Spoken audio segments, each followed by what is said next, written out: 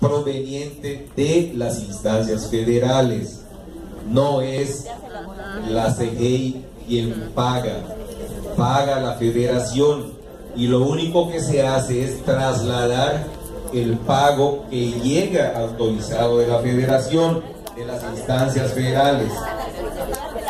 Lo, ¿qué, es lo que, ¿Qué es lo que ofrece la Secretaría desde el momento que tuvo conocimiento de esto?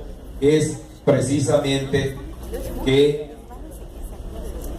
les acompaña en la gestión de estas inconformidades. ¿Por qué se los digo? ¿Por qué se los digo? Porque no quiero que se vaya con la falsa idea de que la CGI va a pagar. No es así. No es así. El dinero proviene de la federación. ¿Sí? No es, no es, no es la CGI quien, quien quita el dinero que no está impactando en carrera magisterial.